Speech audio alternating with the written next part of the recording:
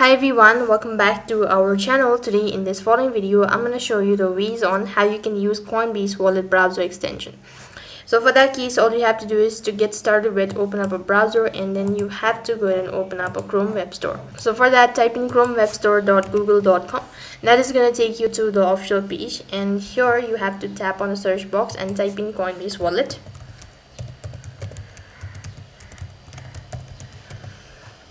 When you locate the following app that you are looking for then you should be able to find it right on this page. And uh, then you could go and click on the install or download button. When the extension has been downloaded or added you can go ahead and start creating your account.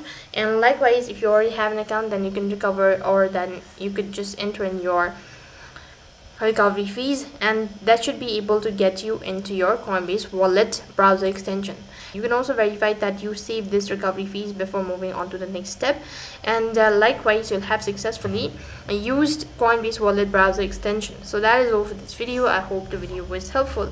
Make sure to like, share and subscribe to our channel. Thank you for watching. See you in the next video.